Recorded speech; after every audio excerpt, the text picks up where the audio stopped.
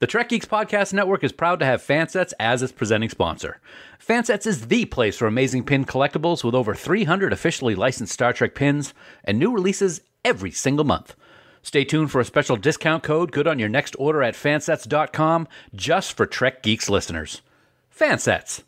Our pins have character. This episode is also sponsored by Science Division, the makers of the galaxy's first interactive tribble that you can control with your very own smartphone. Find out more about this amazing collectible and sign up for their mailing list for special offers at sciencediv.com. Science Division. Trouble's never been this fun.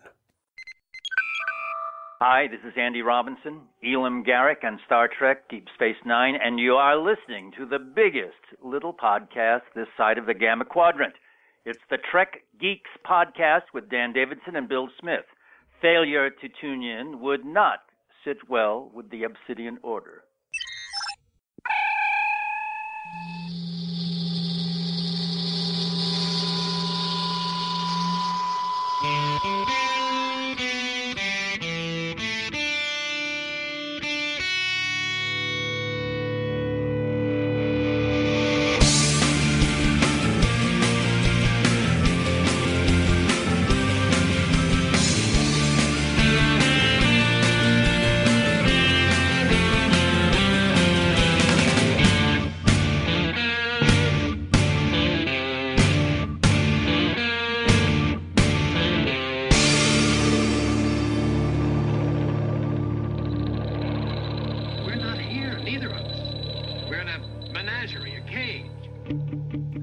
Time Traveling Communications Division of Podfleet Command, where we are constantly monitoring all channels for signals from all eras of the Star Trek universe. It's the biggest little show this side of the Alpha Quadrant, the flagship of the Trek Geeks Podcast Network.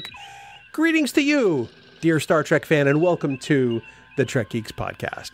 This this is episode number 266, and we are so excited to have you here. And of course, by we, I do mean my co host and I. You know, in less than two weeks, I'm going to be getting on a plane for the first time in almost two years to go to Las Vegas for the first time in over two years to go to the convention. And who am I doing it with? Well, this anchor. Well, uh, yeah, and by anchor, I don't mean somebody who co hosts a podcast. He is the weight around my neck. He is uh, Dan Davidson. And, buddy, um, welcome aboard to 266. 266. I love it. Thanks for welcoming uh, me as as wonderfully as you always do, my friend. I'm glad I can be that weight around your neck, and maybe I'll just push you right off the cliff. Um, it's great to be Dead here. though. weight. Yeah, Dead weight. absolutely. Yeah, um, I, I'm here to serve though. So, uh, but we're gonna have fun. I can't wait. It's less than two weeks away. Uh, we'll be masked up, of course, and uh, hope everybody is staying safe and healthy. But I'm excited right here on episode 266, buddy. I'm glad that you are here with me too, as co-host of the uh, Trekkies podcast. Yeah. Really? What? I don't know, just cause, because you're a wonderful human being. See, that's how you introduce somebody. Just giving you a little pointer from Connecticut School of Broadcasting.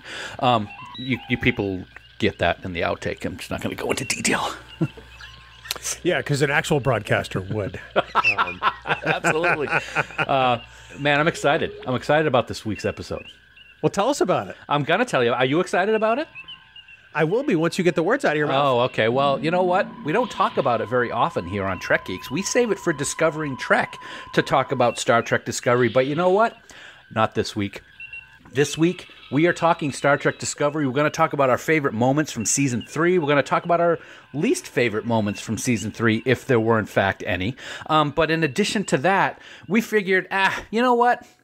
Let's bring in somebody to help us talk. So, yeah, we're going to have a little chat with, um, oh, I don't know, Anthony Rapp.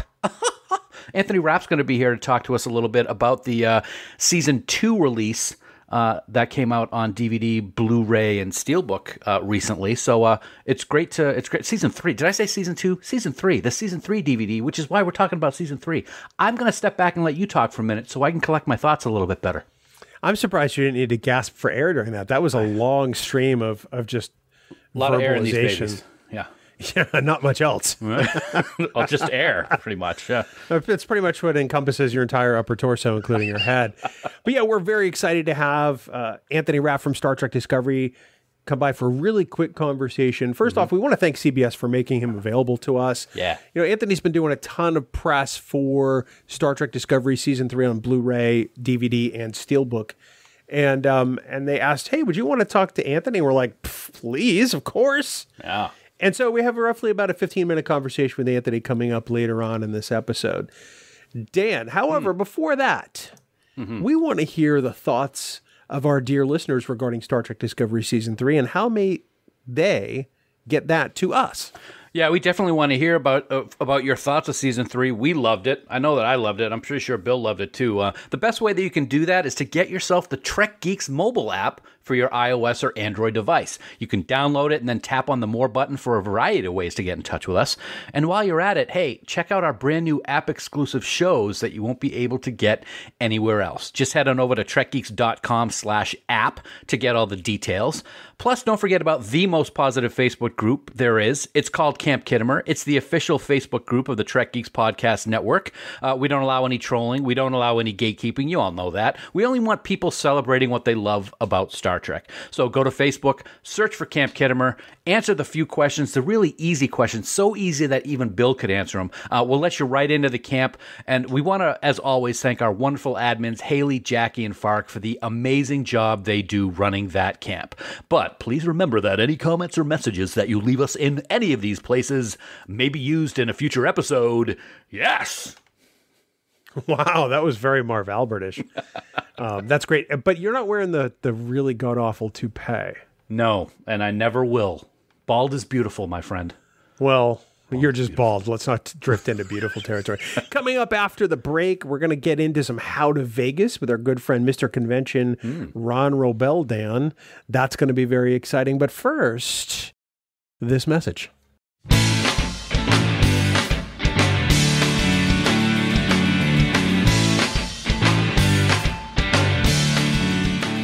Dan, as always, we want to take a moment to thank our friends at Fansets for being the presenting sponsor of the Trek Geeks Podcast Network. Yeah, indeed, we do, my friend. We talk about them every single week, and there's a reason why we do. They simply offer the best Star Trek pins anywhere.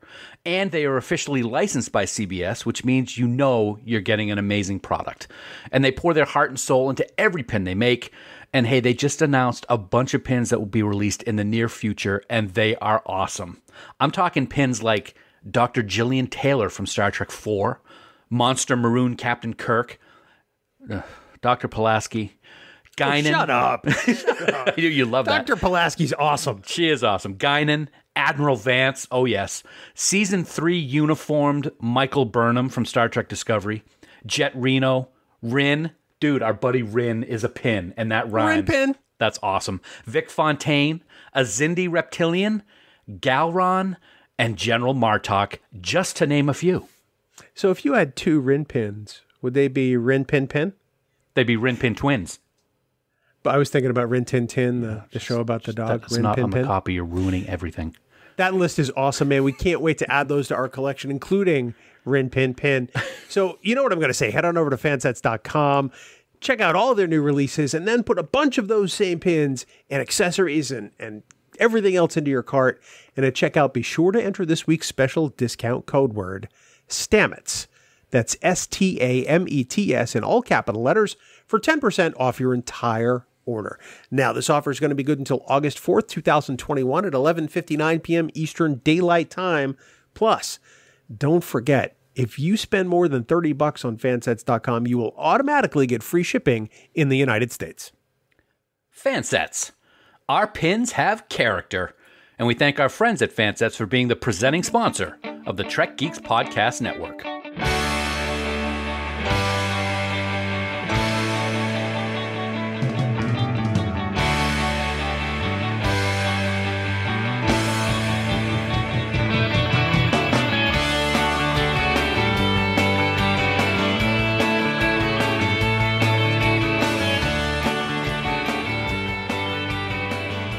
Dan, we have less than two weeks to go until Viva Las Vegas, baby, and Creation Entertainment's 55 year mission. And we're just trying to help people get ready.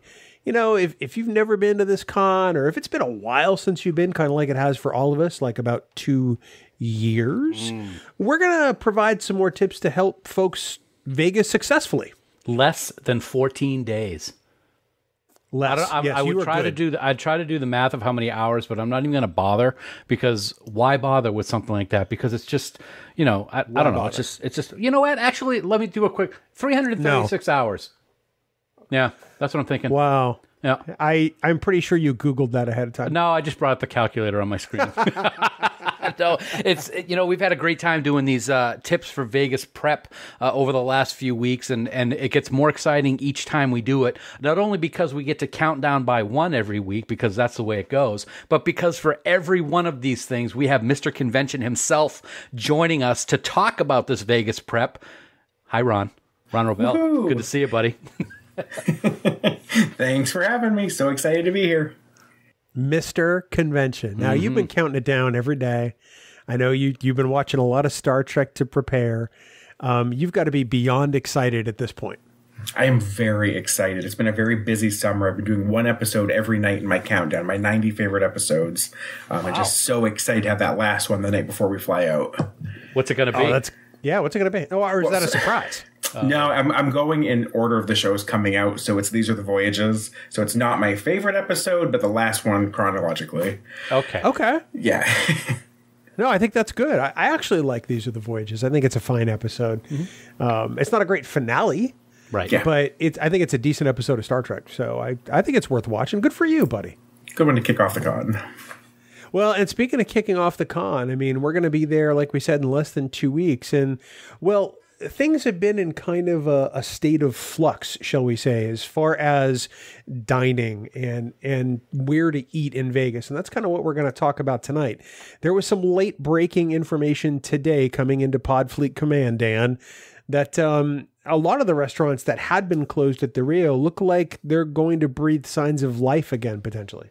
I think that's great. I think, uh, you know, of, of course, everybody who's been keeping an eye on what's going on, the Delta variant is going crazy. A lot of uh, places have brought back their mask uh, protocols, and you need to wear a mask when you're indoors. I know Vegas is one of those areas that that is happening. The state of Nevada has recommended, uh, if not mandated yet, I'm, I'm not exactly sure, but you have to It's have a mandated. mask. It's mandated. So you have to have a mask when you're inside the casinos. And of course, that's going to be during the entire convention. Um, so we were concerned about what was going to be going on. And up until today, a lot of the restaurants and bars at the Rio were not going to be open very much, if at all, during the entire week of the convention. And that brings us to what our topic is tonight, and that's where do I eat at the convention? So, luckily today, uh, Creation and the Rio uh, have have released a new list, an updated list of what's going to be available specifically at the Rio. And I got to say, I'm very, very happy about what I'm seeing. Uh, Ron, what about you? Yeah, it looks like just about everything is going to be reopened. I know that the big one I'm going to miss this year is the buffet, um, but knowing the Hash House is open, All American Grill is open, um, and then I was also impressed by the email from Creation showing all the options over the Gold Coast, which is literally just across the street. I've stayed there every year I've been before. This will be my first year at the Rio, um, so I can speak for some of those restaurants at the Gold Coast. They have some great offerings. You know, they really do. There's a TGI Fridays over there, I think, that's open 24 7 still. Um, and I mean, if you're looking for, you know, for a quick bite or, you know, at least a, a restaurant where you know what you're going to get, it's not a, a terrible option at all. Looking at the offerings at the Rio, some of them are running different hours, some of them are running reduced hours. Um, it looks like the All American Grill right now is only open Friday to Sunday from 6 a.m. to 10 p.m., which is a major shift run. Big shift. Um, and the thing that caught my eye too, that I think there's a lot of uncertainty about, was Jimmy's Bar um, being open for lunch. You know, it's not high level gourmet food, but it's really it, it's decent food that's affordable, it's cheap, and it's really easy to grab if it's your first time at the convention. Um, it's the only spot that if you're trying to grab something between panels, it's right there and you can grab it really fast. Yeah, that's really true. I mean, because sometimes having to walk all the way back out to go to someplace like All American or or one of the other restaurants there in the casino, Dan, is a bit of a trek, and then then you got to walk all the way back. It's a bit of a trek. Look at you. You're throwing in the puns. You know, you said State of Flux a little while ago, Voyager episode. You're doing great tonight, buddy. I love it. Um, yeah, you're absolutely right, though. It is quite a haul to get back to the main hotel area. I got to say, guys, All American's not my favorite. So I'm really not too disappointed. Uh, in the in the hours on that, but it is good to see that uh, places like Voodoo Steak uh, up on the top of the Rio is going to be open. And, and one of the things we should point out, a place like Voodoo Steak, is if you're going to dine there, we probably would want to recommend that you make a reservation for a place like that because that's that's high level, like you were just talking about gourmet stuff, Ron. Um, so that's a place that's going to be open. Um, you mentioned it, Ron Hash House. I got to say that's one of the best breakfast places I've ever eaten, not only in Vegas but anywhere. I am so happy that they are going to be open for breakfast as they're saying now, every day of the convention open at 7 a.m. and, and open till noon for breakfast. And, and that's been a place to enjoy great food every morning and watch all the people walking to the convention area, including a lot of the stars. It's really awesome. Agreed. I, I the food there's phenomenal. I think it's going to be really busy too. You know, you mentioned making reservations. I think a lot of these restaurants might be short staffed. Um, so I'd say yeah, get yes. there early, plan for things to be a little bit slower, be generous with your servers, both in their time and then the tips that you're giving them. Mm-hmm. Um, it'll be interesting to see from what I'm seeing. It looks like Hash House is open every day. Starbucks at the convention center. They didn't mention the other one by the tower. Um, so right. I think breakfast offerings may be a little bit tougher to come by. Um, personally, I'm thinking I might just get some food and keep it in the room for breakfast so I can grab it and just run right down to the convention each morning. Yeah, I can't say they blame me there. Another option is there's a new Denny's across the street from the Gold Coast in that plaza where the Walgreens is now too, um, which was not there two years ago. At least not to my recollection. Although some of that may have been alcohol fueled, allegedly. you know, Ron, you brought up a good point a little bit ago about you know being sure to to be kind to your servers, and I, I think that's true of the hotel staff in general. These are people who have been through a lot, and this convention is the first one there in almost a year and a half. So they're kind of getting their sea legs again in, in, dealing with a whole bunch of people. And I think it's going to be really important for us all to exercise a little kindness, Dan. Yeah, I, I totally agree. And one of the things that I think might, I, I could be complete, this is complete conjecture on my point, guys, but I wanted to point out that, that a couple years ago when we were there, we talked to several employees at the different restaurants at the Rio and the people who work at the Rio themselves. And I'm wondering if that not only because of the amount of people that are going to be there is why they're opening all these up, but these people told us that this week is their favorite week of the year. They love the Star Trek fans coming into the Rio. They love the convention. They really have a great time with all the people and having conversations. So I really like to think and I'll, I'll, I'll say I'd like to think that they're doing this because they want to be there to help us. So hopefully they will have the staff. But if not, like you guys said, you got to be patient. You got to really tip them well. They're working hard. They're doing what they can so that we enjoy the convention. So make it worth their while. Yeah, absolutely. And, and it's funny. Um, we talked about you know getting some lunch. Um, probably the restaurant that's the furthest away from the con has got to be Smashburger, but arguably it's probably one of the best destinations at the Rio. It will be open daily, but not until 4 p.m. Monday through Thursday. Yeah. That's a change. Friday and Saturday, they're open from 9 a.m. to 2 a.m. That sounds about right. and then Friday through Sunday, they're open 24 hours. Yay, team. Wow. you know, you that's know, that's always a favorite of mine. I know it's a favorite of yours, but oh, yeah. you know, we mentioned reservations a bit ago. I, I, would think if you can try to default to a reservation for everything because they're going to try to control crowds at these restaurants too. There's Open Table, there's the Resy app, R E S Y on on iOS and Android. Um, and also check with your hotel, you know, concierge to be sure that you know, if there's a restaurant you're looking to get into that you can. I'm not looking to correct you, Bill. I just want to make sure we have this right. Smashburger, it looks like Friday and Saturday they're 9 to 2 and Sunday 9 to 10. I think you oh, might have been talking bad. about the sports deli that they're going to be open my, Friday and Sunday 24. That's okay. That's all right. Yeah, no, you're right. So Friday, Saturday 9 to 2 and Sunday 9 a.m. to 10 p.m. That's the host's mistake. That's okay. Mea culpa, mea culpa, mea maxima culpa. Absolutely. And of course, at night, um, it's good to see uh, for those people that have gone to these conventions at the Rio for so many years, the Masquerade Bar is kind of the place to go. They are going to be open uh, until 1 a.m. Uh, every night during the convention. What is not on this list, gentlemen, which I'm very sad to see so far, and hopefully it will be updated, is Bill and I's favorite place to have a nice drink at the end of the evening or five is the iBar bar. so we'll see what happens five. with that. Now, now, Ron, as I understand it, the Masquerade was only slated to be open essentially Friday night and Saturday night. Is that right?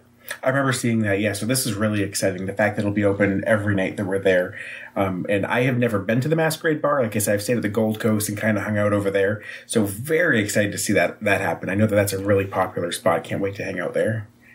It's going to be really interesting to see what happens there because usually, I mean, it's you're you're you're trying to get elbow room at Masquerade. It is literally elbow to elbow in there, and if masks and social distancing possibly are the rule of the day, Masquerade could look a lot different. Dan. Oh, I absolutely agree. It is it is elbow to elbow. It is it, it, it spills out into the main floor where there are still slot machines all around the masquerade bar every single night. There's just uh, tons and tons of people there. So um, the masks is one thing. If there's masks, that's fine. It can still be crowded. But if there is social distancing in that area, it is going to be extremely different than what we're used to. So it's just a question of uh, what'll happen when we get there, Ron. Agreed. Um, one more thing, to even escape the bars, I wanted to mention as far as food goes. Um, I, I love eating out with people, seeing people, but Postmates, Uber Eats are always an option too. Um, I've already planned with a few people to kind of order in outside restaurants and eat them in the lobby and find a place that we can sit out there to eat. Um, just because we know reservations will be hard and there will be lines. Um, and I have never, I've used Postmates, but if you sign up for their like deluxe service with free delivery, you get your first month for free. Um, so it can save some Oh, money wow. for you too.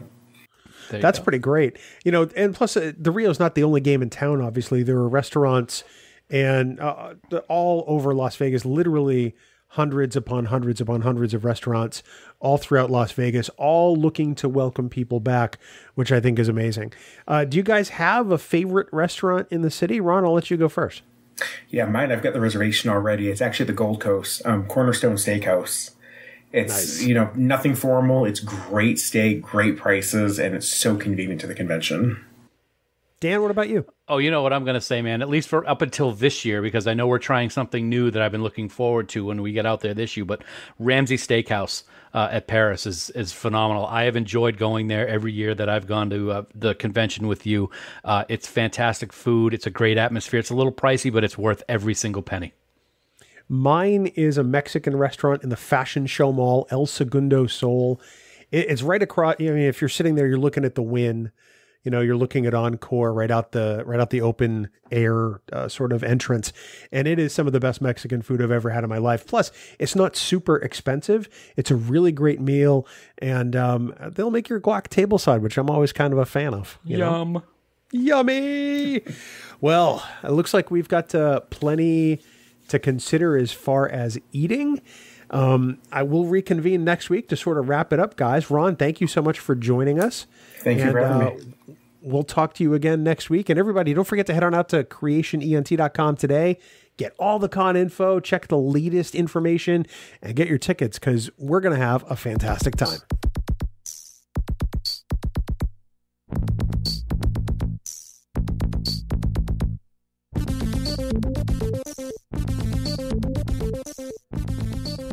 Friends, if you haven't checked out the galaxy's first interactive tribble from Science Division, then you are you are missing out on so many levels. Bill, so many levels.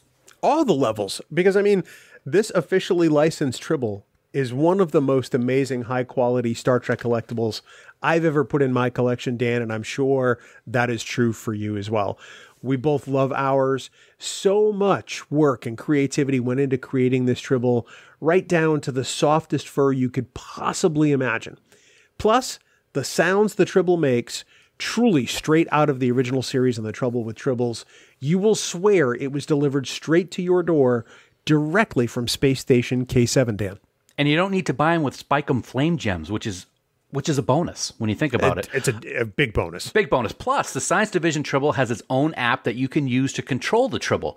It's not necessary, but it is a lot of fun to make it scream at people like, I don't know, annoying podcast co hosts. Uh, fret not, however. Everyone except Bill knows that, you guessed it, Tribbles are not dangerous, my friend. Yes, they are, Dan. They're very dangerous. Haven't you seen the trouble with Edward? Stop. So head on over to sciencediv.com right now to pick up one of the galaxy's first interactive tribbles for your very own. Plus, I mean, while you're there, check out their shop accessory section where you can get all kinds of Science Division swag like t shirts, mugs, or even the Science Division tote bag, which comes in very handy at conventions. Oh, good point. Coming right up in less than two weeks. Science Division. Trouble's never been this fun. And we thank our friends at Science Division for sponsoring this week's episode. If you're looking for some great Star Trek t shirts or even other gear to add to your life, then be sure to check out the Trek Geek store on TeePublic. In addition to our own merchandise, you can directly access all of the officially licensed shirts on the TeePublic platform just by going to shop.trekgeeks.com. And when you use that link, you're automatically helping to support the Trek Geeks Podcast Network with every purchase, whether it's from our store or not. With over 150 designs available and new merchandise being added all the time, you are bound to find something perfect for the next Trek Tuesday or 55 year mission tour in Las Vegas in less than two weeks. Plus, TeePublic constantly has special sales and discounts going on, so you're going to want to check back often, like maybe right now to get ready for Vegas. I'm just saying. But it all starts by going to the Trek Geek shop today at shop.trekgeeks.com.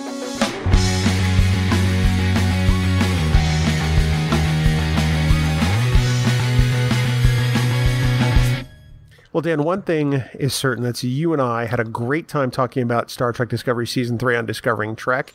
And now that Discovery is being released on physical media, we figured let's talk about it a little here on Trek Geeks.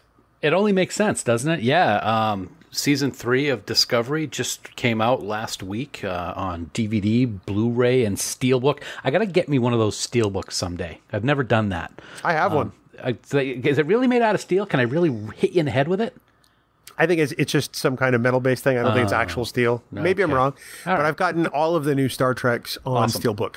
That's fantastic. Yeah, I'll have to check it out. But um, it doesn't matter what form you get it in. Season three was just absolutely awesome. So, you know, we figured we have not talked about Discovery very much, if at all, here on Trek Geek. So let's talk about some of our favorite and least favorite moments of season three of Discovery before we bring in a special kind of guest to talk about it a little bit too. Wow, that's a great idea. I wish I'd thought of that. That's uh, well, you know what? You're not the president of this company for nothing. I, I am? Wow, No, do I get a limo? No, no. Sorry, we sold out. Oh, Sorry. so you know one of the things I like about season three was was the time jump. I know at the end of season two, you and I just weren't loving the idea uh-huh. necessarily, and we didn't think it was necessary. And while I still don't think it was necessary, I thought that the jump to the year thirty one eighty eight was something that they handled really well in establishing the sort of new normal for season three. Oh, I absolutely agree. I was not happy at all with how they ended season two, and I've made that very clear over on Discovering Trek. I thought it was a cop out. I thought it was a way for the writers to not have to worry about dealing with canon, and I was really concerned with how they were going to do that, and if it would really be Star Trek or just another science fiction show set a thousand years in the future. Um, but uh, they they made it Star Trek in every way, shape, and form. They were able to have some elements of canon that we all have known to love uh, in the season, even so far into the future. And I thought they did a fantastic job. And and dare I say that season three is my favorite season of Discovery so far. as each season got become progressively more your favorite. So season one was obviously your favorite of the seasons at that point, but then season two you liked even more, and you like now season three more than two.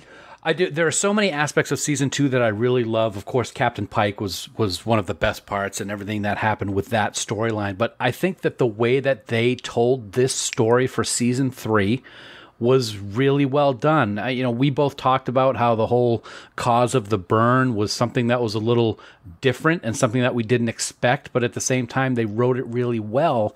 Um, so I was, I'm very proud of what the writing team uh, over in the writers' room with Discovery has done with season three, and it just makes me look that more forward to season four. To be honest with you.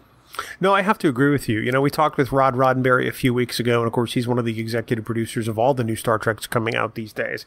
And one of the things we talked about was that season three storyline of the burn and its ultimate wrap up.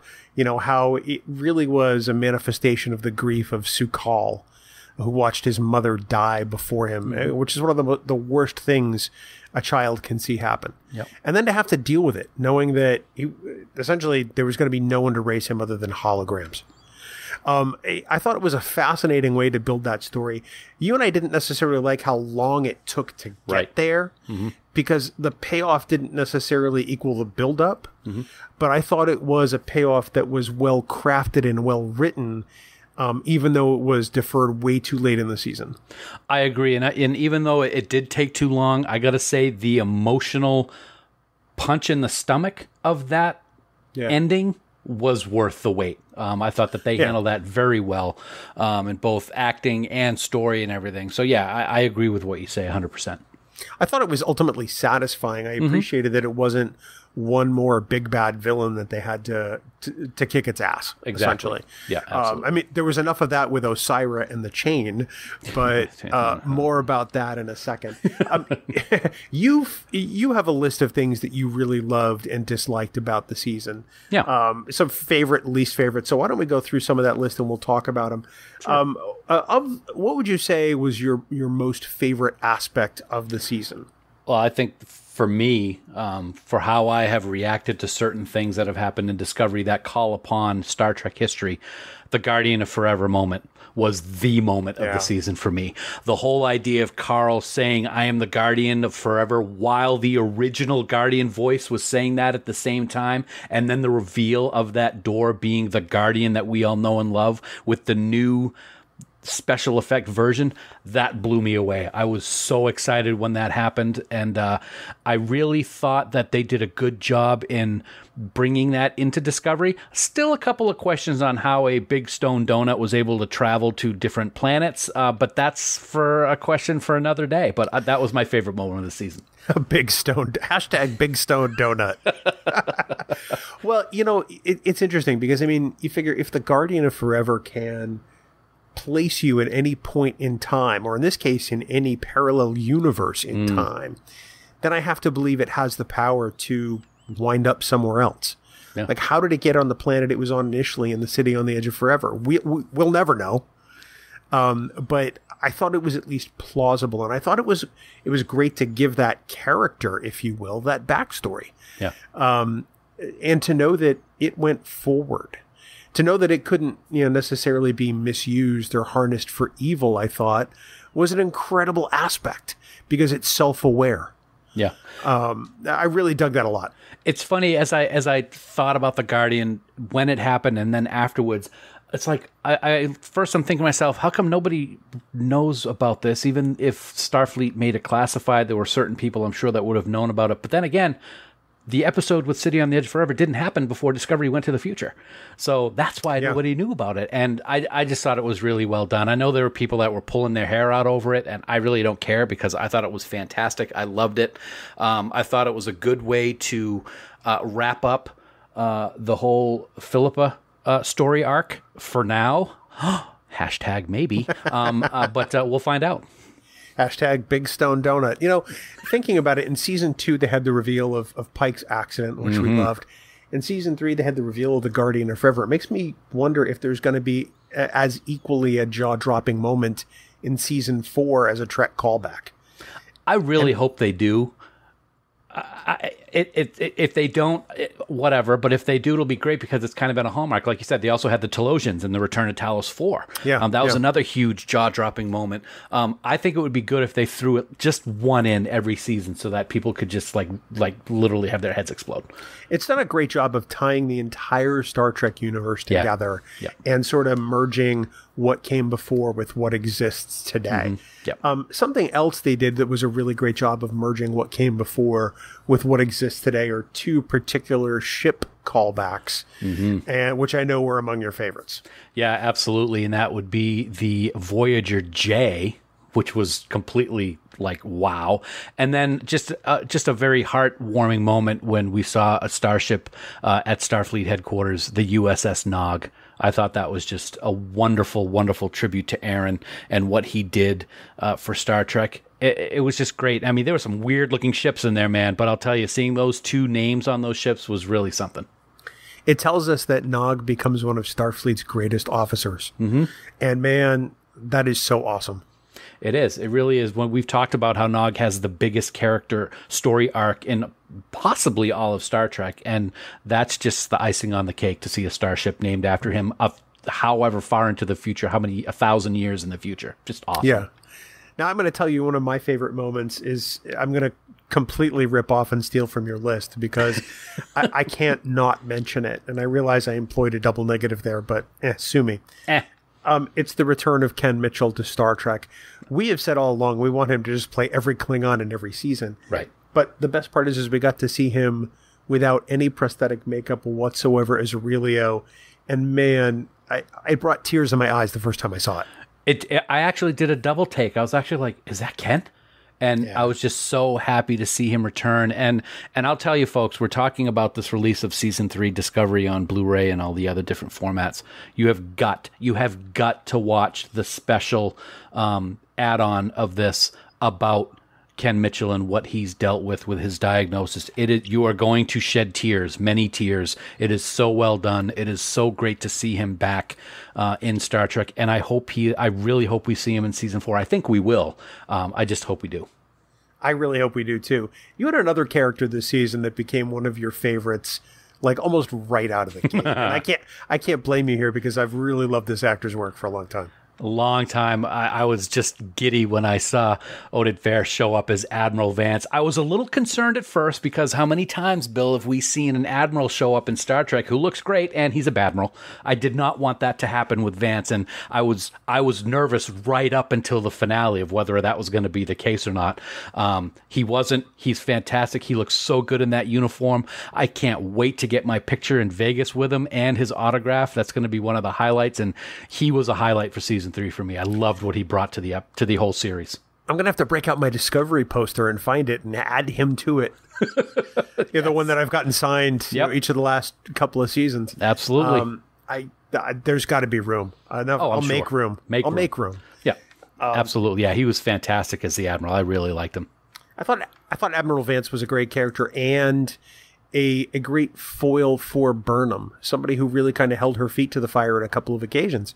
And I, I thought it was I, I thought it was a character that was well written, and I really enjoyed him. Yeah. Um, I I can only hope we're going to see Oded Fehr back for more of season four.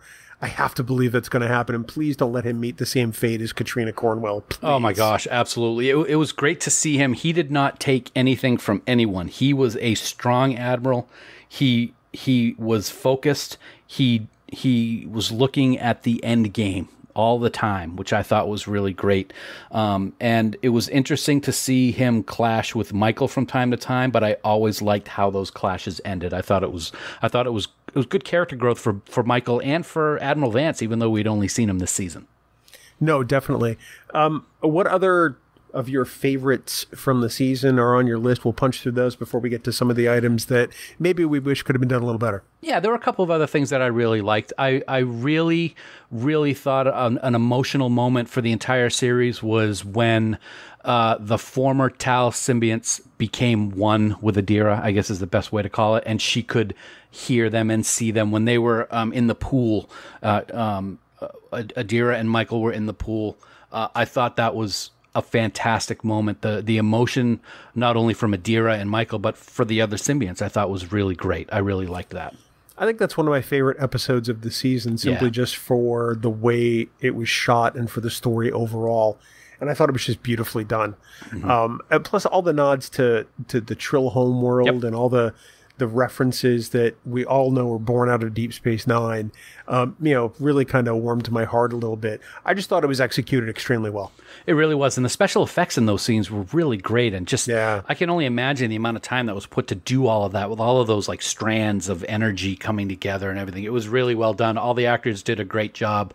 Um, so yeah, that was another highlight. And and one of the other highlights, Bill, um, we've talked about how Discovery is a is a family. The crew of Discovery is a family, and they deal with family issues. And I thought that the new family dynamic for Stamets and Culber with Adira and Gray was another highlight for the season. I really liked that aspect, especially in the finale of the season. Uh, they promised they were going to get Gray back somehow, um, and it was it was really great. Great acting from everybody, also, and for that whole family dynamic. Here, here, I, I thought it was the most important aspect of this particular season. Yeah. With so much that was different and so much that was chaotic, there was this family unit that came together and was born from it. And I think that makes them probably stronger than ever. And uh, I really, really appreciated that aspect. So, before we have our special guest on, let's talk about some of the aspects that we might have changed or hoped would be a little different. What leads the list for you? What well, what leads the list for me? It's kind of a two-parter. I gotta say, um, I loved. Uh, well, I actually no. Let me take it back. Osyraa as a whole, I didn't really care a whole lot for the character. I really kind of thought she was a weak adversary for Discovery and the Federation. The Emerald Chain is a different story. They're tough. They they don't they don't have any problem killing people whenever they need to. I just didn't buy that it was as ruthless a chain as it was with her as a leader. So I thought that was kind of a, an imbalance going on there. And this is just me personally. Janet Kidder is a, a very talented, wonderful, beautiful actress. I thought that chin prosthetic was extremely distracting. I didn't think that she needed it for that character. Every time she was on screen, my eyes were focused on that, and it took away from every scene she was in, to be honest with you, at least for me. I to me, I, every time I saw her, it made me think of the Wicked Wit, uh, the Wicked Witch from the Wizard of Oz, because it it really kind of channeled that that vibe for me. You're right; it was unnecessary. She didn't need it. I thought she was, uh, you know, a, a a tough enough presence without sort of that modification. But I agree with you overall. I think the chain actually could have been even a little more fearsome, but I don't think Osyraa was the leader that that kind of you know made me shake in my boots to some extent. Absolutely, and and no no discrediting the prosthetic team because you know they're war- they're up for Emmys and stuff like that. I just thought that that was. I- I'd like to know what the thought process for that was, and if anybody else really had a problem with it because it just it didn't look right. Uh, it- Right, right. It this is one of the first time, and we've seen hundreds and hundreds of aliens in Discovery. This is the first time that I ever saw someone with a prosthetic on, and I'm like, that looks fake. Yeah.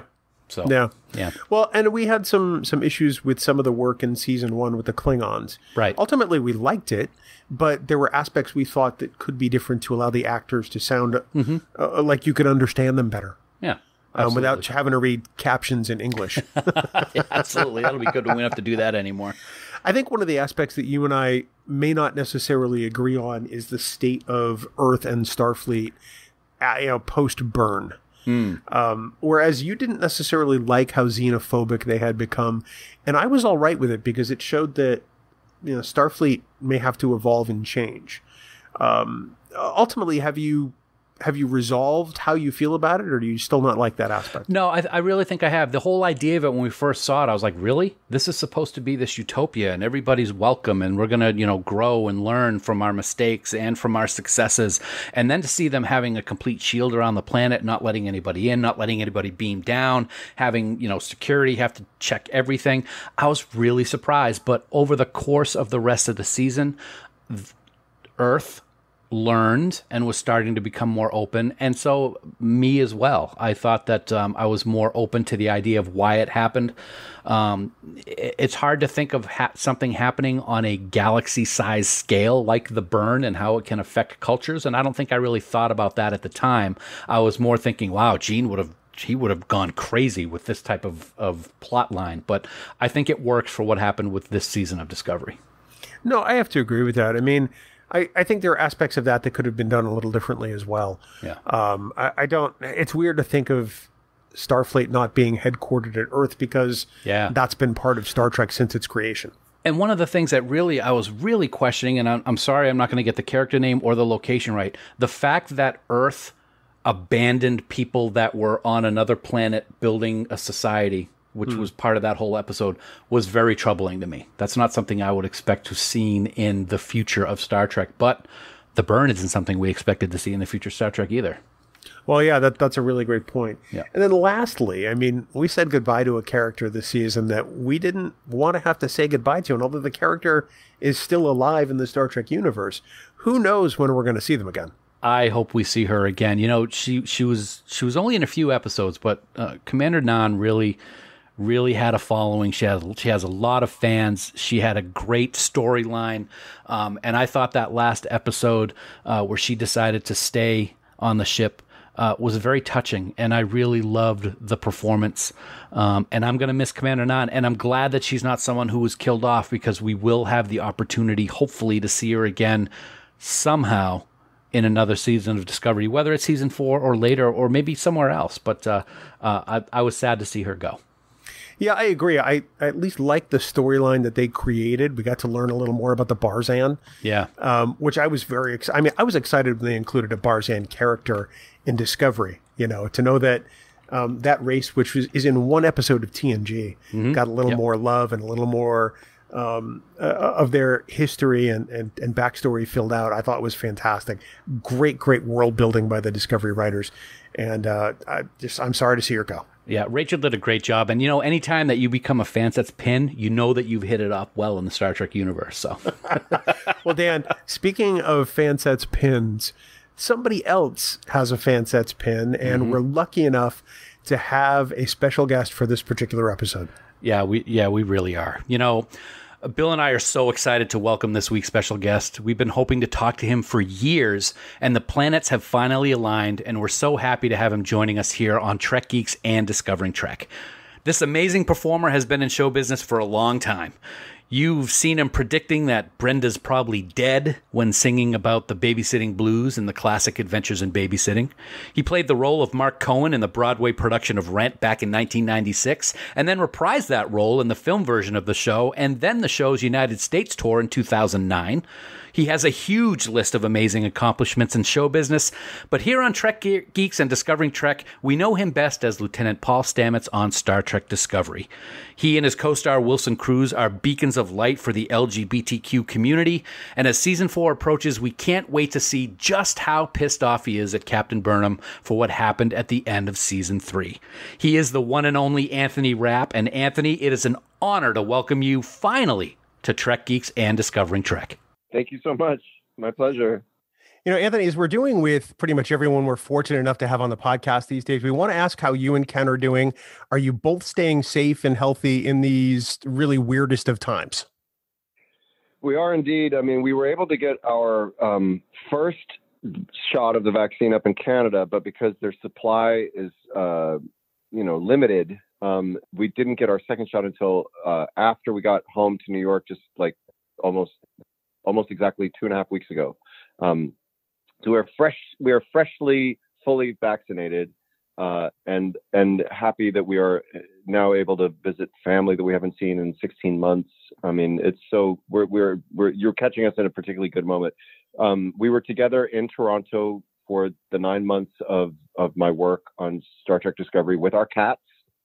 Um, and uh, we were really, uh, you know, we were we were really able to do our best to take care of each other and take care of our cats, but it was also very challenging because Toronto was on total lockdown the whole time. So when we when I wasn't at work, we were essentially in our apartment there, and mm-hmm. you know we could take walks, we could take bike rides and stuff like that. But it was it was very um, it was very isolating also.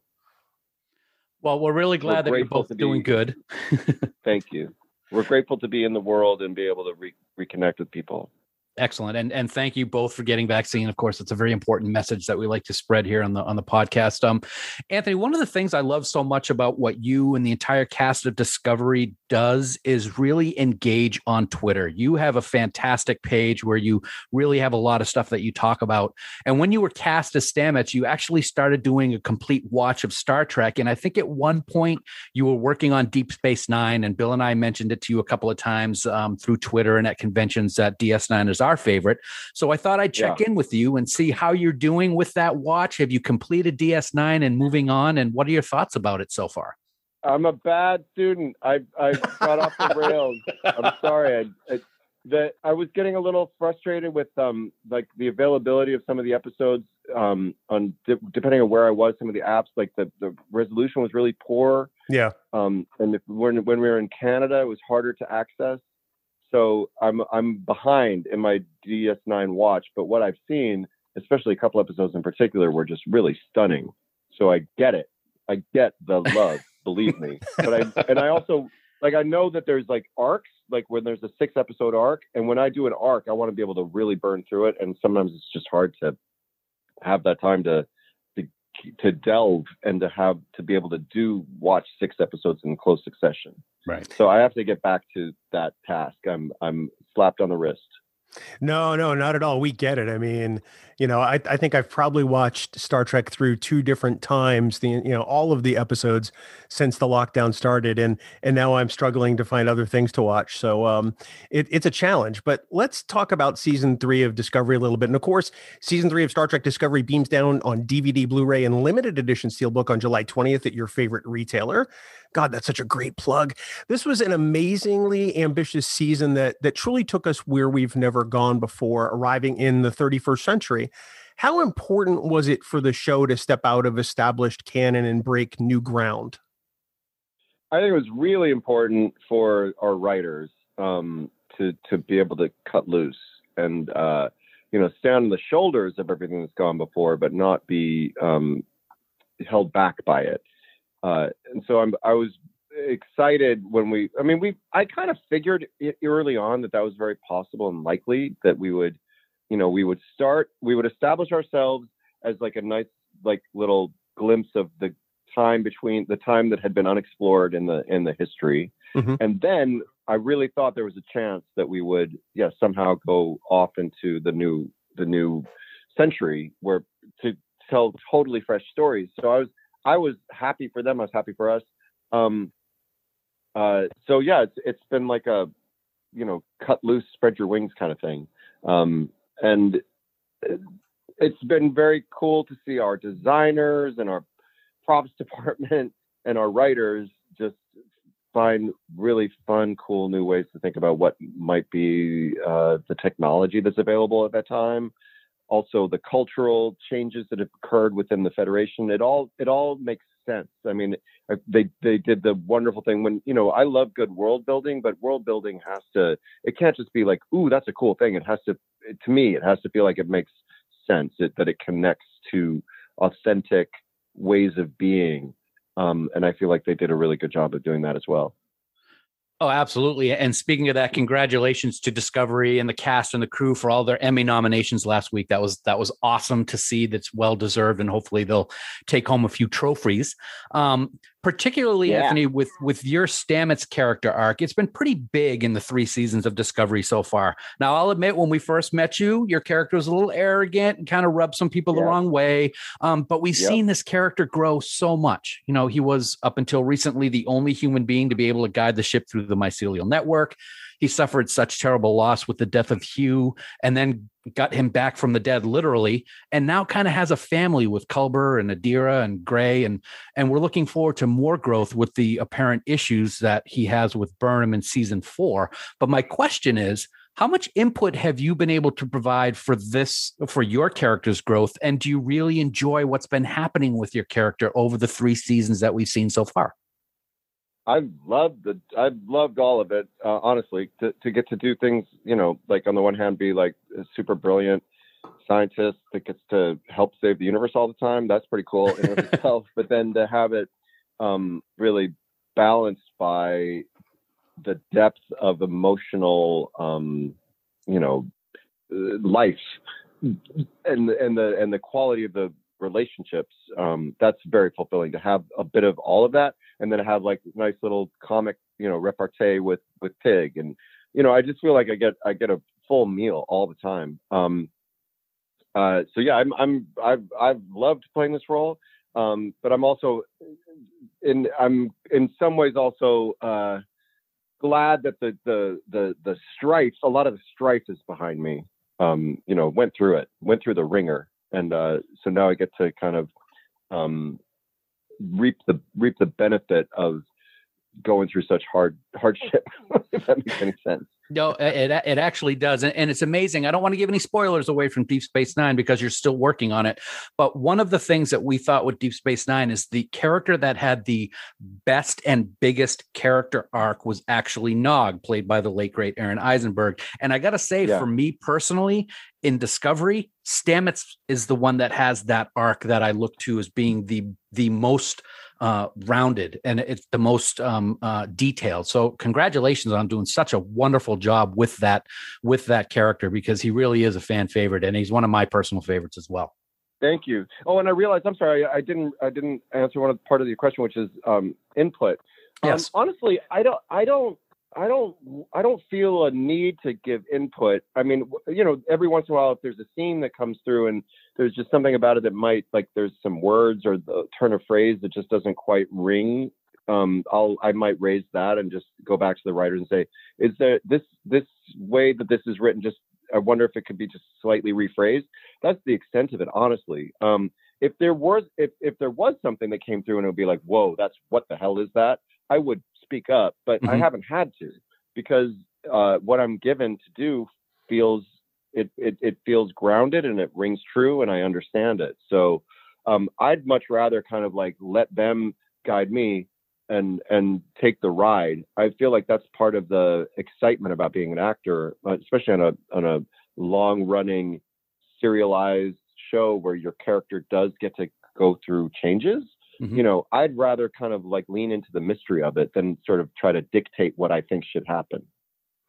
You know, uh, just to pivot slightly, 2021, Anthony marks the centennial of Star Trek's creator, Gene Roddenberry, whose 100th birthday will be celebrated by fans on August 19th. If you had the chance to meet him or like the ability to time travel, if that existed, what would you want to say to Gene today? Wow. Um, thank you for changing my life profoundly. and, um, you know, I, from, from things that George Takei has said, uh, mm-hmm. I understand that Gene really did want to find ways to um, tell LGBTQ stories. So I, I feel confident that he'd be very happy that we were telling those stories in his universe now. But I would just also want to just thank him for, you know, at least being willing to have the conversation with George to be his ally and supporter. And uh, just to, I don't know, ask his blessing might sound like a weird way of saying it, but just say, I hope that you're happy with what we're doing with it because sure. we feel, we feel like we're standing on the shoulders of everything he created. But um, I'd like to, I do believe wholeheartedly that he would be happy with it and that he'd be happy that finally it happened. Yeah, I, I, I totally agree with that. And as I said in my intro, you are such a beacon of light, both you and Wilson, to the LGBTQ community in Star Trek and on Twitter and on social media. So we really, really thank you uh, for that. It, it's really awesome to see that.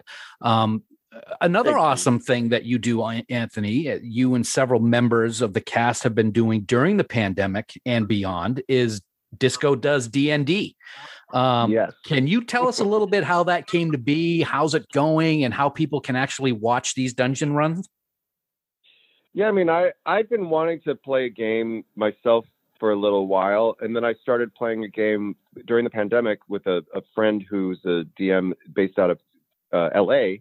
So I was like, fine, I get to play a game. And then so when we were talking about coming back for season four, we were like, yeah, let's play a game because like Noah, Mary's Mary's husband Noah, who played Ryn in season three, yep. um, was trying to put together a game, and then then we started just putting. Is anybody want to join us? Come on, come on. So we do like this little cheerleading email chain, and then uh, you know, happily people did follow up and were serious about it and committed to it. And then Noah walked. You know, there's some newcomers. There's some people who played before, like Blu has played before. Um, I played before but uh, I believe everybody else was a newcomer. Um, maybe Mary had played. A, I'm not sure Mary had played before. She'd like listened to podcasts, so she was a little more aware of it. But then everybody really took it seriously and created characters with, you know, like did the whole backstory stuff, mm. and and then Noah, um, you know, he's he's not he hasn't been doing it for very long, but he's been excellent at giving us putting stuff in front of us that's that's fun and interesting and rich and challenging and weaving together our backstories into it in a very exciting way. So it's just a it's just been a wonderful um, method of of exercising our creative muscles together, um, allowing us to connect during the pandemic. And while even though we were all in Toronto together working, we we couldn't really spend time in person with each other because of the protocols. So. Um, which normally we're a very close cast. We're very we're very much a family. We right. have meals together. We do game nights together. We you know, we go to see movies together. We do all that stuff, but we couldn't do that. So this was a wonderful way to help take care of each other during this really, really challenging uh, nine month period. That that's fantastic. Now, just in case people do or don't know, are you going to be in Vegas uh, in a few weeks? Yes, I'm going to be in Vegas. Excellent. Well, uh, we are going to look forward to seeing you shaking your hand if shaking hands is available in Vegas and is something that you are okay with. If not, maybe a fist bump. Also, but yeah, fist bump for sure. But I'm also doing a concert in Vegas as part of. the Yes, you are. Oh, that's right. Yes, you are. Yep, absolutely. Can't wait. That's going to be Saturday awesome. night. Yeah, it was really excited because you know I love doing concerts, and I just approached the organizers like, "Is this something that you know you you you'd let us do? Because we I would love to do it." And and they were like, "Yeah."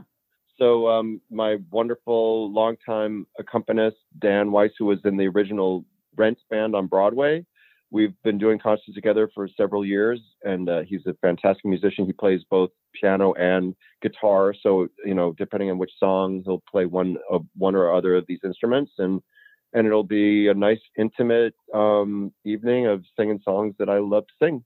And uh, so I'm just happy to get to do that in, in the in the very supportive and loving environment of the Star Trek convention, and I hope people enjoy it. Well, I'll tell you what, we can't wait to see you. We can't wait to see that. To me, you're always Daryl from Adventures in Babysitting Man, one of my favorite roles ever that I had you do. It's just it's just so great. Um, we love you at Stamets. We can't wait to see what's in store for you and your character and your family in season four. Thanks so much for joining us here on Trek Geeks and Discovering Trek. And we will see you in just a few weeks, my friend. Thank you so much. Take care.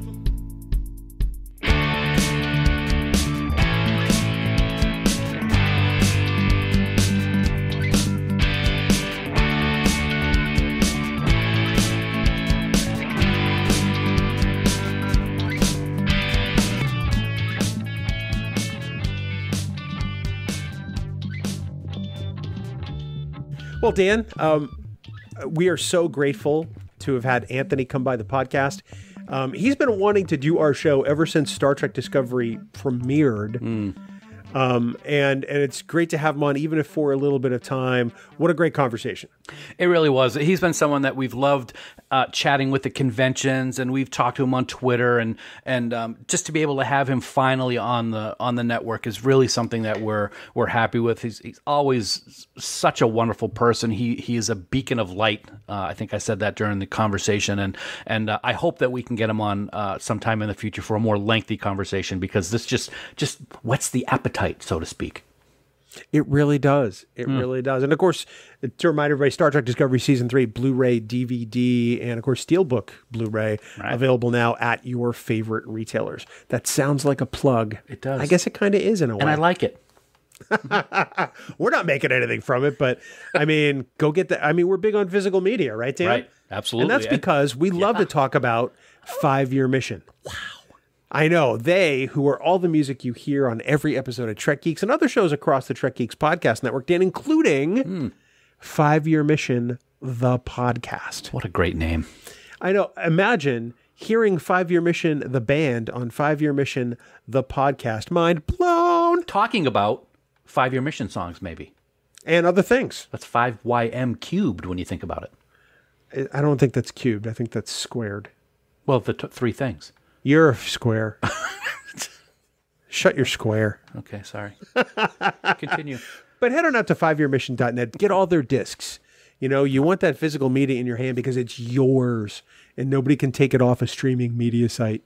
Oh. And and then you lose access to it. You'll always have it. So fiveyearmission.net, get all their CDs and and check out their podcast on your favorite podcatcher today. Absolutely. 100, 100% agree with that, my friend. Nicely done. Nicely done. You know what else I love besides the way that you talk about five year mission? Cheese? I love cheese, but I also really love the penultimate episode of TOS. It's awesome. It has time travel, it has romance, it has great science fiction storytelling. I know you remember it, buddy, because you're you're awesome with TOS episodes. It's a planet that's about to be destroyed by a sun going supernova. Kirk is being sent into its past to a time where drummers and musicians were thought to be witches and were executed. And Spock and McCoy are thrust into the planet's ice age, where Spock reverts to his ancestors' savage emotional state and falls in love with a beautiful woman. All Our Yesterdays is a great episode that shows us just two examples of Mr. Atoz's vast library that stores all the past of the planet Farkpeden. So check it out. It's the penultimate episode. All Our Yesterdays, Farkpeden, Mr. Atoz, Spock, McCoy, Zarabeth, Kirk as a drummer witch. It's awesome. Check it out. Isn't it Farkpidian? Farkpedian. Right, I said Farkpedian. No, it's Farkpeden. I actually thought of that when I was writing this up, and the spelling of the planet is the IE is before the D, so it's But don't they pronounce it as Sarpedian? In Well, he also says sabotage, so it could be wrong. You never know. Sabotage. Yeah. So Peace so and tranquility. You know, you're just looking for reasons to downplay my awesome Farkisms, and it's not going to work today, sir. I'm just going to put that out right there I'm only surprised you didn't call it all our Farkster days. because that would have been dumb. Like you. No, that actually makes more sense than Farkpidian. Sarkpedian, Farkpedian, it sounds the same. Doesn't it? No, it's dumb like you. I just said that. I just said that a second ago about you. Anyway, I know Oh, you are, but what am I? I'm rubber, you're glue. Wait, wait a minute. Yeah, that's the right one. Yeah, okay. I got it right. Bounce off me. Yeah, it sticks to you. Yeah. Yeah, that sounds okay, go. great. Talk. And it's not Sarkpidian, it's Sarpidian. Sarpedian. No, I said Sarpidian and Farkpedian. I Yeah, threw the no, K it in extra. sound the same. Because you're a moron. So don't forget, uh, you can get even more access to all this great banter by supporting the Trek Geeks Podcast Network on Patreon. I mean, who wouldn't want more of this, Dan? I know. This is Um, riveting. forget the perks. Forget the t-shirts, forget the pins, forget the unedited episodes. You can get more of this bitching back and forth. and if it's not riveting, if we're frogs, would it be riveting? Oh, I hate you. I knew you. You knew I was going there, didn't you? You just knew it. No, but, you know, I, I didn't. Wow. I, I like to think of you better than that, and unfortunately, you're just not. No, I, I I just give you every reason to not think of me as that good. Anyway, uh, we want to thank our associate producers for Trek Geeks. They put up with this, and we really don't know why, but we're so thankful for their support. And they are Vikram Bhatt, Luke Burnham, Brad DeMag, William Edward M. Jr., Patrick Escudero, Brandon Everidge, Andy Fark, Kimberly Francis, Jonathan Hamilton, Ryan Jeffs, John Krikorian, Sean Lynn, Jamie McGregor, Aaron Mollenkoff, Casey Pettit, Helen Reed, Tim Robertson, Greg Rozier, Sarah Rutlinger, Eric Sakian, Adam Sanders, Tim Serdar, Heather Sohn, Blake Strike, Rick Tatro, Lisa Tomlinson, Jessica Dax Vincent, Ron Wrobel. Ron Wrobel, that name's familiar. I, I don't know why. I don't know. And the gracious and wonderful Connie Hutchins. That so gracious, so wonderful. Dan, our producers of the Trek Geeks podcast are Mike Bovia, Chaz Bradshaw, Kyle Castillo, Peter Craig, Andy Davenport, Craig Ewing, Jackie and Chris Hackney, Kimberly Hartman, David Hood, Julianne Jordan, Leonel Marchand, Rick Mason, Matt McGonigal, Jim McMahon, Darren Metcalf, Charlie Mulvey, Sean O'Halloran, Jamie Rogers, Casey Shafsky, Jim Stoffel, Chris Tribuzio, Ken Tripp, Christina Werther, and the lovely and talented Jess Vashon. Dan, the senior producer of Trek Geeks, is the constantly cheerful Jude Tatman. Constantly cheerful. He is a room full of cheer. Yes, he is. You too can become a producer. What? Constantly. Constantly, yes. this is fun. You too can become a producer of the Trek Geeks Podcast Network, and it is so easy to do. Head on over to patreon.com slash Trek Geeks for all the details.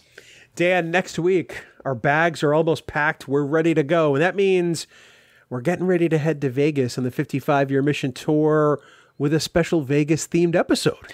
Yeah, indeed, we are, my friend. Every year before Vegas, we deep dive into an episode that reminds us of Vegas and in some way, shape, or form. And, and next week, we are thrilled to do it once again after a COVID induced year off from it.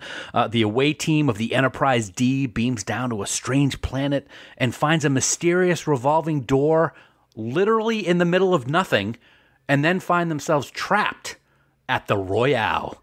We deep dive into the fifth episode of TNG Season 1 next week on Trek Geeks, the flagship of the Trek Geeks Podcast Network. You know, we just want to say off the bat if you hate the Royale, check yourself because this is an awesome episode. I think I gave it a skip it the first time we did see it or skip it, but I'm ready to watch it again. I think you did. I, I think you're going to appreciate it. I mean, it, either way, uh, yeah, we've talked about how Move Along Home has a third season Right. TOS vibe. This one takes that third season TOS vibe and makes it a TNG episode. Cool. Which is very different. Plus, I think there's some really good writing in here. The fact that they acknowledge that the story of the Royale sucks.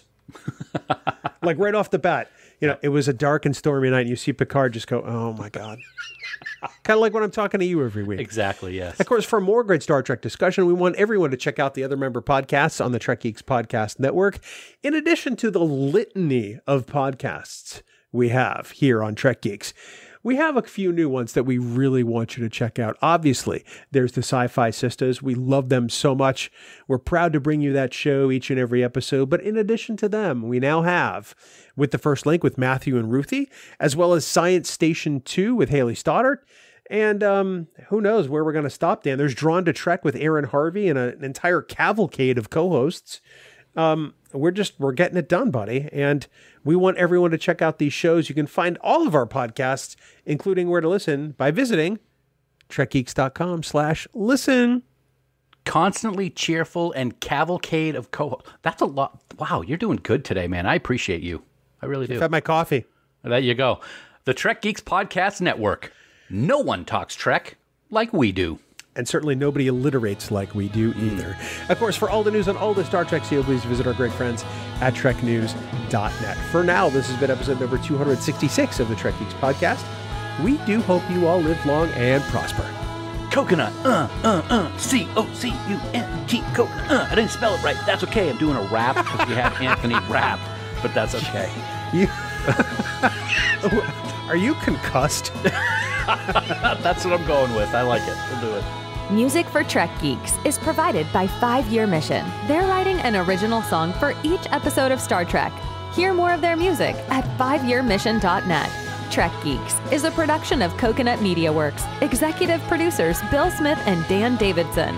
For more great Star Trek discussion, discover the other shows of the Trek Geeks Podcast Network at trekgeeks.com or find us in Apple Podcasts, Spotify, or your favorite podcast app.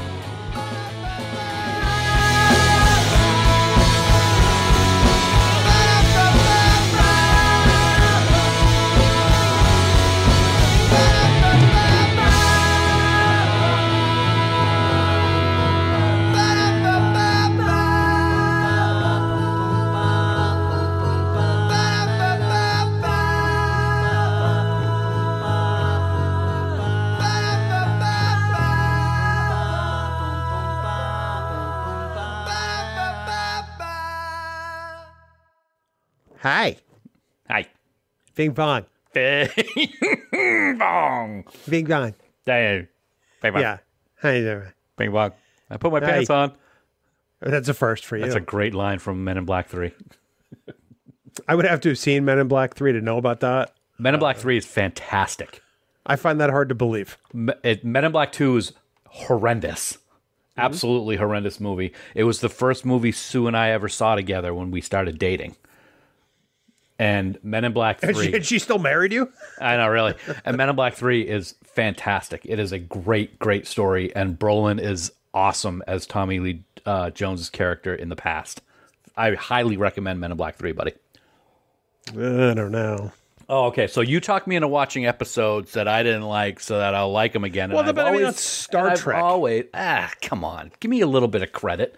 I do good with movies. I do give you a little bit of credit. That's why you have a podcast. Oh my god! wow. All right, people. I want you to hashtag Men in Black Three and tell me what you think about it. I'll do it. It sucks. you haven't seen it. How can you say it sucks? the second one sucked. First Second one was meh. the second one was horrible, and Men in Black International. What I've seen of it is not good at all.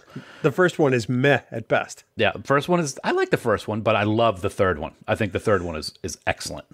So I saw the second one in theaters, Ugh. and I was sitting there in Lowell, Massachusetts, at the Showcase Cinemas. Mm-hmm. Crowded theater. I think I was like maybe tenth row, sitting dead center. And of course, the the Columbia Pictures uh, opening teaser graphic comes up, and and the or maybe I think it's Columbia, and the and Yep. the woman that is part of that logo takes puts on the shades and takes out the yeah, the the forget me stick or whatever it's called, Neuralizer, yep. And it goes off, and immediately in a crowded theater, I said, "What am I doing here?" Everybody just died laughing. that's awesome.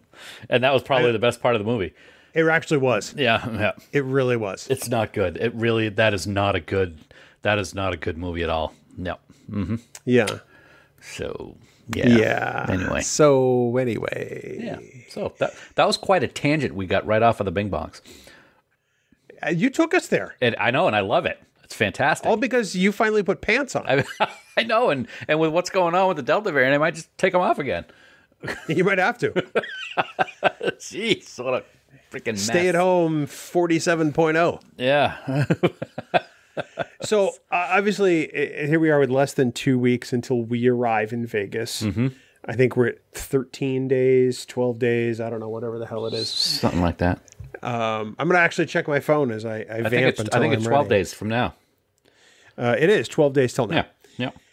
And uh, obviously now there are mask requirements in place, not just from the convention, um, but also from uh, Las Vegas itself. Right. So wherever we go, wherever anyone goes that's going to Vegas, better have your masks. Yep. Absolutely. Just to say.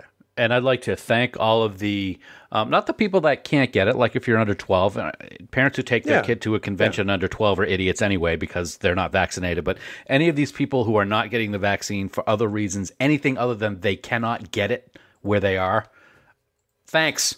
Thanks for causing this problem because it's all your fault. That's the way I'm looking at it. You know, six, 60 days ago, we didn't think we'd be in this position. yep. Um, now, granted, there are still a bunch of guests going to the 55 year mission in Vegas. I think they're at 109 guests Yep. who are still going to be there from Right. Star Trek. Yep. Um, some notables have dropped out Sonequa Martin Green, LeVar Burton, Yep. Jonathan Frakes, um, and some others. We probably will see some others drop in the next 12 days, Oh, I'm, pro- I'm positive we will. Yeah. Yeah. in addition to some attendees. Uh, I wouldn't be surprised to see that, that that's the case as well. Yeah. We'll, we'll talk about this a little bit um, in the in the How to Vegas segment, but there are a lot of hotels that that aren't running full restaurant availability, including the Rio. Right. Ugh. Yeah. My my iBar. Well, your breakfast. I don't know. The iBar is more important. Yeah, iBar and Masquerade only open Saturday, Sunday, Yeah. That- That's wow. that's and we get there Monday. yeah. I mean, I'm have to deal with you without having anything to drink for a week. Oh, Oh, time to bring your flask. exactly. Or, or I 20 did not say that. I did not flasks. say that Uh, I'll because say you're not supposed to sneak things into the convention, and I would never do that. Oh no, I would just use in the room. At that point, I'm just going to break out the bottle. I'm not going Right. to bother with the flask. No, no, yeah, just drink it right out. Hoo. A little bag, a little brown bag with a little bottle sticking out of the top. Like what? Mm. If anybody wants me to do that live in Vegas, just remind me. How did you not go into voice acting? I mean, you saw the panel with D. Bradley Baker for Star Trek Prodigy. I Yeah. mean, some of the sounds he made were Yeah. just, uh, they were not human. You could very easily do that because you're not human. I well, that's true, but I, I you know, it's something that you know, it's, you, it's funny that you say that because that's something that I wanted to do when I was a kid, and I just never, I just never did Followed anything through? with it. Yeah, like Mission Log Live had um, the guy played Shaxs on the other night on their show, and it was great. Yeah. He was he was great to, to listen to, and he's he's well known. Fred uh, Tassior, is that how you pronounce his last name? Um, something like that. But anyway, um, he was awesome, and, and yeah, it's that. And, and the other thing I always wanted to do, I don't know if anybody knows this, I always wanted to be a bartender, which is probably why I like doing the martini stuff I do these days. Hmm. Yeah, mixologist. Is it because the hours suck? Uh, that's probably a good point. But you know, I mean, I wanted to go into food, but I mean, um, I hate working nights. Yeah, And uh, largely, if you're working in, in some kind of, of cuisine as a chef, you're you're working a lot of nights. right. Yeah, that's probably. At least until you become superstar level right. Well, that wouldn't take or owner level, but still. wouldn't take long at all. Wow. wow. Yeah, uh, I thought of another one the other day, and I actually I thought this up because I opened the freezer and I had a bag of these, and I'll get to what they are in a second. And I'm like, oh, I wonder if they have that kind of martini. Just joking. Looked it up. There's a recipe for it. The Charleston Chew Martini. Absolutely. Sorry now. Yeah, I, I, that's what I. Yeah, yep. I just said it as a joke, and I did a Google search, and yeah, there are recipes for it. So the Charleston Chew, a candy bar that was made locally here in the Massachusetts area for decades, mm-hmm. has a martini. Yeah. Um, I I think I would be afraid of that, quite frankly. and and what's great is the garnish is a mini Charleston Chew. Can you still get those? Well, I get the one. They have these little snack bags, and they're they're little balls, and they're Charleston chews, and I throw them in the freezer. I've always liked Charleston chew from the freezer. I don't like chewing them. I'm losing my teeth and fillings and all that stuff. I got to think it'd be even worse if you put it in the freezer. You'd break a crown. Nah, nah, they're not that. They're not. It's not like rocks. It's nougat. They are once you put them in the freezer. Ah, come on now. Have a little faith of the heart. I hate you. I get to throw it in every week, and I don't even. No, you no, you don't. You don't have to. I know, but I like to because it drives you crazy. It's not just me. You know how many people hate that damn song? I know. It's just a reminder Think of that the it will be listeners, with us man. forever. no. Well, see, think I of the sing it, listeners. so just It doesn't matter. is fine. But yeah, but you you claim matter. that people don't hate fart. That blah, blah, blah, let's try that again. Let's, re- let's rewind. You claim that people don't like farkisms, but they love them. Hence, they are every week. Oh no, no. It's not that I claim it. You get direct feedback from our Patreons on Discord Yeah, Well, um, that tell you you that when they suck. well, that's all right. I still do them because you know what? You can always Because they suck. Ah, it's fun. You could always improve if you put in the effort. And here we are back to voice acting. Full circle. Ah, all right. You know what we call that where I come from? Ring, ring, ring. That's a callback. I didn't need to, go to the Connecticut School of Broadcasting to know that. Oh, not a lot of people had to. It was fun though. There's For, still- for the there's- three there's- weeks you were there, Oh God, no! That was a long. That was a long stretch, dude. it was the longest four weeks of your oh, life. Oh man, Whew. I didn't think I'd get through that first weekend. And that was just a party. And they're still around too. That's the that's the amazing thing. I never thought that they would they would last, but they're still down there in Boston and other locations. Connecticut School of Broadcasting. Wow, if that's what they taught you, you really They should get a didn't refund. teach me that at all. that was just natural born talent. Yeah, pretty much. I actually remember doing. We had to do a like a news segment, and I did my news segment wearing my Data TNG uniform and talked about the Franklin Mint chess set. It was on video and everything. Really? Yeah. Uh huh. I went all out. that was pretty funny. I- you don't have the video of this, do you? I, don't. No, not anymore. But I. just oh my god, that would yeah. have been amazing. Yeah. yeah. See, back way back then, even loving it. I I just I don't have words. So this would have been like this would have been like late like 89, 90 Yeah. maybe. Yeah, right around there. Yep. Yeah, I think in the late '80s. I don't think it was '90s yet. I don't remember. I'll have to I'll have to look at my diploma. Did you actually get a diploma? Oh yeah, they go yeah the whole nine yards. I thought Yeah. you didn't finish. Oh no, Connect School of Broadcasting. I finished absolutely. Yep. I had no idea. oh yeah, yeah, I did. I we've joked around that you flunked out, but I Yeah. mean I don't No, think no. I actually knew. No, I did. I got the I got through the whole thing. Yeah. All twelve weeks. Glad I put it. glad I put it to good use. Right. Hosting a podcast that has like six listeners. Thank you. Hey, that's not my fault. If maybe if you'd completed your training, young Jedi, we'd uh, we'd have a lot more people listening. Wow. To this. Okay. this turd. So once again, it's my fault. I'm glad you recognize Wow. it because the rest talking of to did. Michelle lately. Damn it. Dan. All right, so um, so we've covered a lot of ground here, and I'm tired. So um, Yeah. Let's get this over with. now seems like the perfect time to start recording a podcast, doesn't it? It does absolutely. If any of you out there are thinking of starting a podcast, um, and you think, "Wow, hey, I'll get my best friend from 25 years to do a podcast with me," just Don't. take a look, take a good long look in the mirror. Or listen. I mean, uh, just just really reflect. What a jerk. All right, you ready to do this, jerk? Yeah, let's do it, buddy. Let's go. The Trek Geeks Podcast Network is proud to have FanSets as its presenting sponsor. Sorry, just a little Connecticut School of Broadcasting thrown in there that before was I really start. I know, I did it on purpose. Okay, here we oh. go. okay, now we can stop the cut. You almost- stop the outtake. No, no, we can't. You almost need to do it like Marv Albert. oh God, no! Yes, but don't bite anybody's back when you do it. Oh my!